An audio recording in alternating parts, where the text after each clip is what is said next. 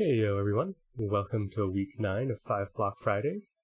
This week we're making Cupid's arrows in Minecraft using just these 5 command blocks. So these are custom tipped arrows that when they hit a mob that can be bred by feeding it, will have the same effect as if you had just fed that mob, uh, regardless of what type of food that mob prefers to eat. Um, they also have some other things like they don't damage the mob when they hit it. Um, they don't anger the mob when they hit it. So it basically works as as long range feeding. So to create the arrows, you take regular arrows, stick them into a hay bale, and then throw a lingering healing potion at them, and you'll get these Cupid's arrows. Um, I have a small resource pack turned on to give them these heart tips, but you know, turn that off and they'll look like regular tipped arrows. Yeah, the resource pack doesn't do a ton. So, once you have these arrows, you can just find any mobs that you would normally breed by feeding, and you just shoot them with the arrows. It works as if you had just fed them, and you get a baby mob. Um, because they're just arrows, you can also put them in dispensers. And hopefully that lined up right. Can't quite. Yeah, put them in dispensers. You can shoot mobs with them that way, and they'll breed like that. So have sort of a somewhat automated breeding station if you want to, where you don't even have to manually feed the mobs anymore. But yeah, that is pretty much it for what this creation does. I'll do a brief overview of how the commands work, and then I'll have a video later in the week doing a more in-depth look at the commands. This first command block takes care of creating the custom tipped arrows.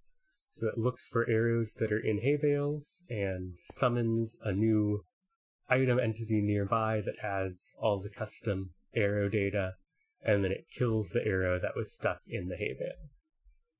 The second command modifies the entity data of the arrow as it's in midair. Um, so it changes the owner so that it doesn't make the mob it hits angry at whoever shot it.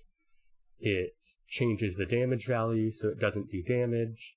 It changes the sound effect so it's a, a different sound when the arrow hits. Uh, these two commands take care of modifying the entity after it's been hit.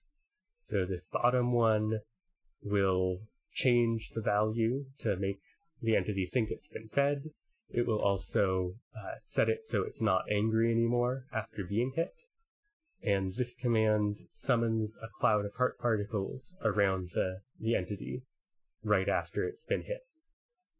And finally, this command will kill any of the custom tipped arrows that are stuck in blocks. Uh, this is because when an arrow is fired, it loses a lot of its custom item data. So if it had like a custom name, it doesn't have that name anymore a few things like that. And so instead of having um, arrows that once they land and you pick them up get renamed to uncraftable tipped arrow, um, I decided to just kill them so that they, yeah, you get one shot and then they're gone. That's all for this episode. I hope you enjoyed. Um, if you want to see the technical in-depth explanation where I go through each command line by line. Uh, make sure to subscribe to see that later in the week. If you have any questions about this episode or previous episodes of 5 Block Fridays, uh, there's a link to my Discord down in the description.